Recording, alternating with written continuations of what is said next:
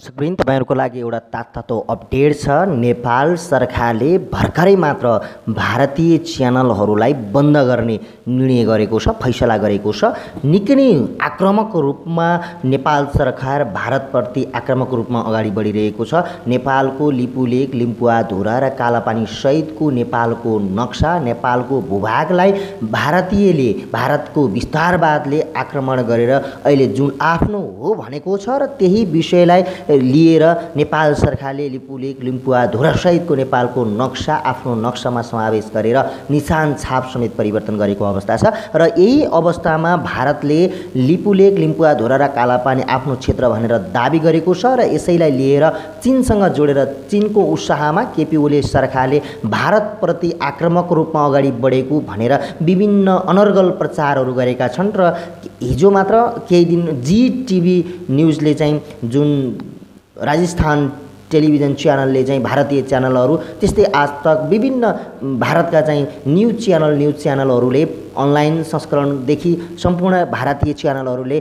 नेपाल सरकारको बदनाम हुने नेपाल सरकारको राष्ट्रियता अखण्डता र स्वाधीनतामाथि आँच पुग्ने गरी विभिन्न भ्रामक समाचारहरू सम्प्रेषण गरेका छन् आपत्तिजनक सम्प्रेषण गरेका छन्। भारतीय मिडियाहरूले चिनिया राजदूत याङ्गीलाई महरा बनाउँदै विषकन्याको रूपमा परिभाषित गर्दै भारतका मिडियाहरूले प्रधानमन्त्रीसँग अफेर रहेको समेत त्यस्तो अनर्गल प्रचार गरिरहेका छन् जसले गर्दाखेरि नेपाल सरकार बाध्य भएर नेपालमा भारतका च्यानलहरूलाई बन्द गर्नको लागि तयारी गरेको हो निर्णय गरेको हो फैसला गरेको छ निकै नै राम्रो गरेको छ। अब कि किनकि एउटा खुसीको कुरा पनि हो तिन करोड नेपालीको लागि भारतीय च्यानल बन्द हुनु किन बन्द खुसीको कुरा हो भन्दाखेरि नेपालीले नेपालीपन बिर्सनु हुँदैन आफ्नो मिडियाहरूलाई माया गर्नुपर्छ। नेपाल सरकार कुनै पनि मिडियालाई अङ्कुश लगाउन चाहन्छ चाहँदैन चाहे त्यो देशी होस् चाहे त्यो विदेशी होस् तर नेपालको अखण्डता भौगोलिक अखण्डता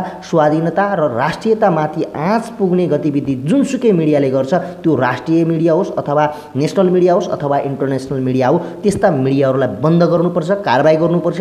त्यही प्रारूप त्यही बमोजिम नै नेपाल सरकारले केपी ओली सरकारले आज मात्रै भारतीय मिडियाहरूलाई नेपालमा बन्देज गर्ने प्रसारण गर्न रोक लगाउने निर्णय गरेको छ।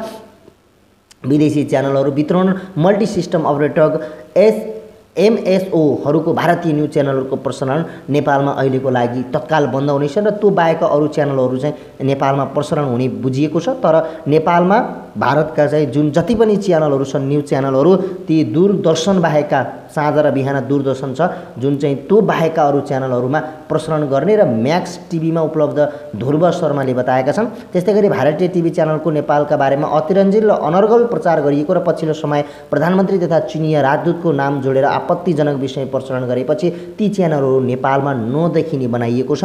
अबदेखि ती च्यानलहरू नेपालमा देखिँदैनन् र युट्युबमा पनि सायद देखिँदैन होला। सरकारले त्यही हिसाबले त्यही अनुसारले बन्देज गरिदिएको छ।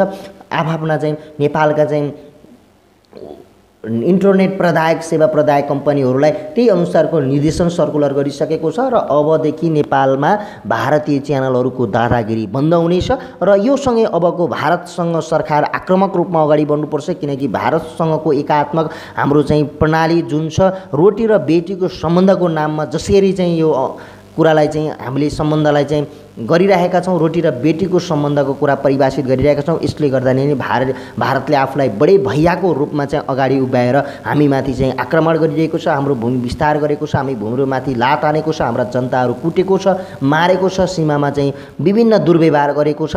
तर नेपाल सरकार केही बोल्न सकेको थिएन। तर अहिले लिपुलेक लिम्पुवा धुरासहितको कालापानी नक्सा नेपालको नक्सा जारी भएको छ। त्योसँगै नेपाल सरकारले भारतीय च्यानलहरूलाई पनि बन्देज गरेको छ। अब नेपाल सरकारले भारतसँग जोडिएका सीमा नाकाहरूमा पनि अब कडाइका साथ अगाडि बढ्नुपर्छ त्यहाँ पनि सेना परिचालन गर्नुपर्छ र सिमानामा काँडे तार लगाउनुपर्छ। तब मात्र नेपाल भारतको दादागिरीबाट अन्त्य हुन्छ र भारत नेपालसँग झुक्न बाध्य हुन्छ। तपाईँहरूको लागि यो तातो अपडेट अहिलेको लागि यति नै। तपाईँहरू पनि हाम्रो च्यानल हेर्दै गर्नुहोला। नमस्ते।